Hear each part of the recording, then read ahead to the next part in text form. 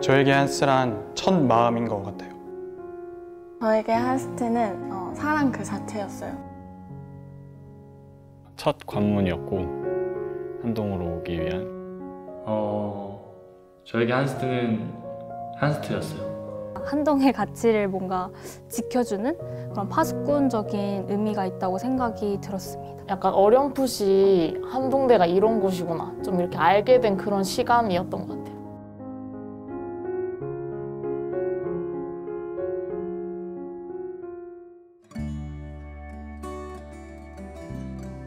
네, 안녕하세요. 은혜 세대 13학번 정윤수입니다. 기쁨의 세대 16학번 신지혜입니다.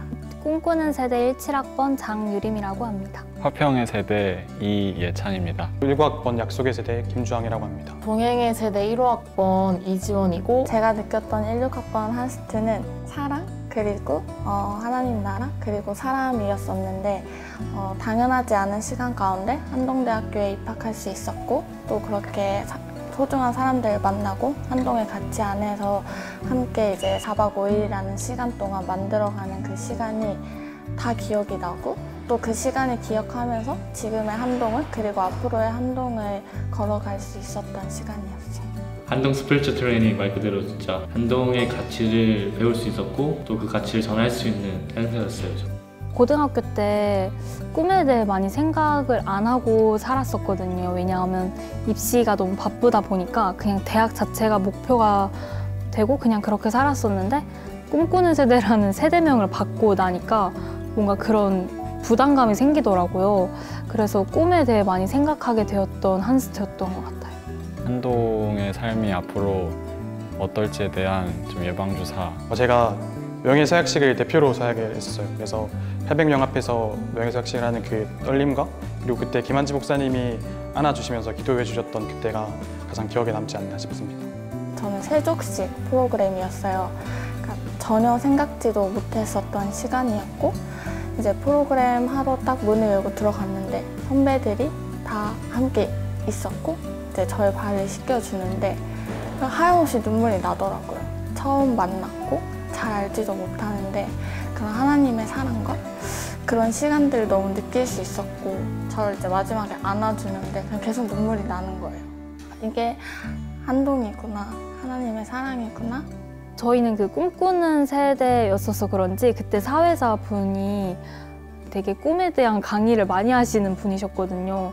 그래서 그 특강이 저는 너무 좋았어요. 꿈의 크기가 커졌던 것 같아요. 그냥 막연하게 나는 영화 감독이 되고 싶어 라는 꿈을 가졌었다면 한스를 겪고 나서 나는 세상을 변화시키는 영화 감독이 되고 싶어 아 이게 한동이구나 그래서 내가 가지고 있는 나의 달란트 나의 도구 그리고 한동에서 이런 사랑과 가치로 어떻게 나아갈 수 있고 내가 앞으로 어떻게 걸어 나갈 수 있을지에 대해서 많이 고민을 해봤던 것 같아요. 이 한동대 학교가 되게 하나님의 진리와 어, 성경에 기반한 어떤 그런 가치들을 굉장히 탄탄히 세우고 있다는 생각이 많이 들었고 영화 엑스맨에 보면 자비에르 영재학교라고 있거든요. 이제 돌연변이들을 받아주는 학교인데 저희가 돌연변이라는 건 아니지만 세계 세상에서 보면 저희는 소수자라고 그때도 말씀하셨어요. 한스트 때도 김한진 목사님. 근데 이런 소수자들을 다 모아놓으니까 뭔가 어, 되게 편이 생긴 것 같고 이런 든든한 마음은 들었죠. 그냥 한동을 소망하는 학생이었다면 한스가 끝나고 내가 진짜 한동인이 됐다. 그리고 세상을 바꿀 마음, 그 넘치는 마음을 가지고 했지 않나 싶어요. 어, 한스 하기 전에는 제가 이제 어찌어찌 우연히 이렇게 입학한 거라서 대학 생활에 대한 그런 기대감도 사실 많이 없었고 자율 전공 이런 걸 생각해봤지만 막 그게 얼마나 좋은 건지도 생각을 많이 안 해보고 그랬는데 한스 하고 나서 대학에 대한 기대감이 좀 많이 생겼어요.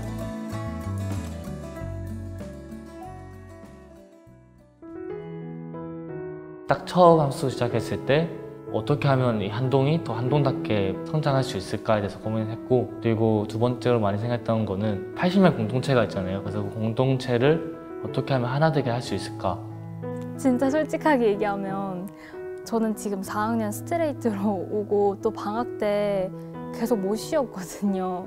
그 와중에 한스트를 바로 하게 돼서 사실 너무 몸도 지치고 정신적으로도 좀 많이 지쳐있던 상태에서 아, 그냥 열심히 버티자 라는 마음으로 한스트를 시작을 했었어요.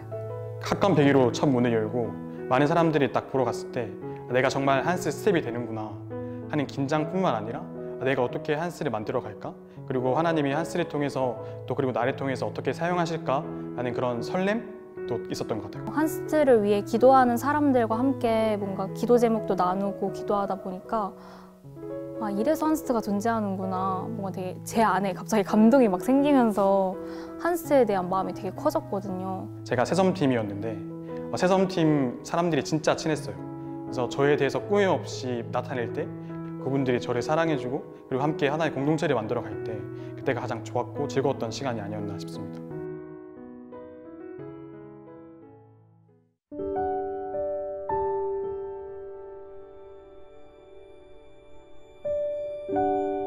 처음에는 한 명, 두 명, 세 명 이렇게 진짜 하루에 한 명이 나오거나 아예 안 나오거나 코로나가 더 심해졌을 때 급하게 또 지원 팀장님이 저를 부르셔가지고 한스가 미정이 될 수도 있고 취소가 될 수도 있으니까 너희들이 취소가 될 걸 생각하고 준비를 해라.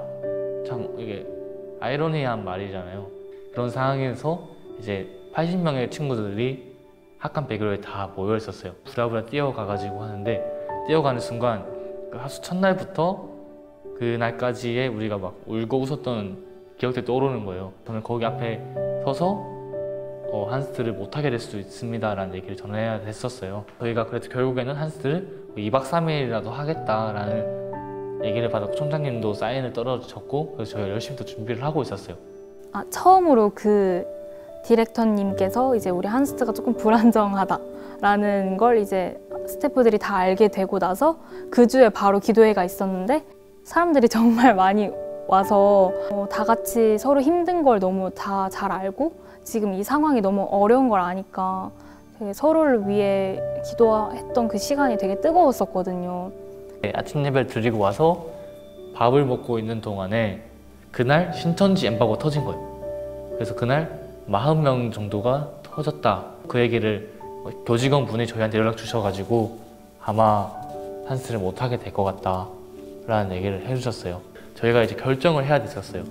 이럼에도 불구하고 한스를 진행해야 될까? 그때도 신천지가 막 완전 팡 터진 게 아니었고 그냥 30명, 40명 이렇게 터진 때여가지고 할 수 있겠다 싶었는데 근데 나중에는 막 이제 100명, 200명이 늘어나게 되고 스태프끼리 얘기했을 때 어, 어렵지 않을까 코로나19 터지고 나서 그 교무회의를 학교에서 진짜 많이 했어요. 근데 그 결과가 되게 이랬다, 저랬다, 이랬다, 저랬다, 이랬단 말이죠. 뭐 언제는 한다. 또 다음 날은 안 하게 됐다. 근데 또 그 다음 날은 축약해서 하기로 됐다. 또 막 이런 식으로 결과가 되게 많이 번복이 되면서 근데 또 팀원들한테 티를 낼 수는 없으니까 그 속에서 엄청 지쳤던 게 좀 힘들었던 것 같아요.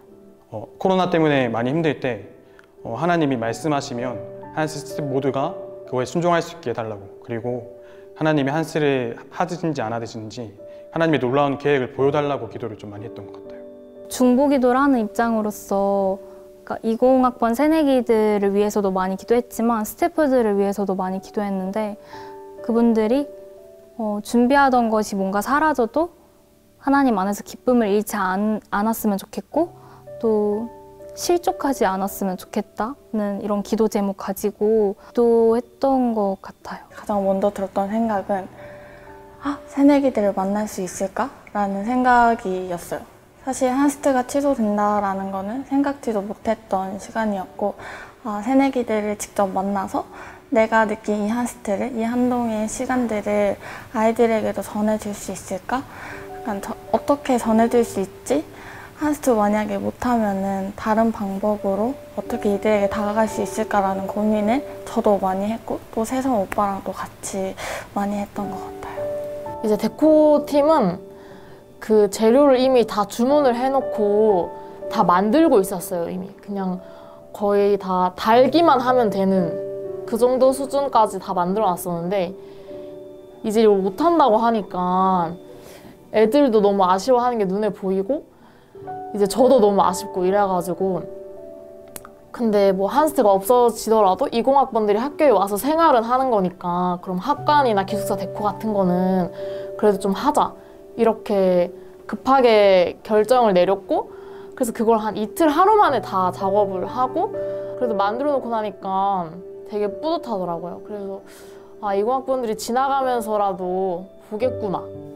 저희는 취소되고 마지막에 학관 101호에 모여서 다 같이 손잡고 전체 학관 101호를 둥글게 서서 같이 저희 주제곡을 불렀을 때가 그때는 취소가 됐기 때문에 되게 아쉬운 감정이 많았고 그리고 이 친구들이 80명의 친구들이 자기 시간을 내어주면서 한스를 준비했는데 불구하고 그 한스를 하지 못했기 때문에 되게 미안한 감정이 되게 컸고 그 다음에는 빛나는 새내기들한테 세대 새내기들한테 우리가 준비했던 이야기들을 못 전한다는 게 되게 안타까워서 되게 아쉬움에 눈물을 많이 흘렸던 것 같습니다.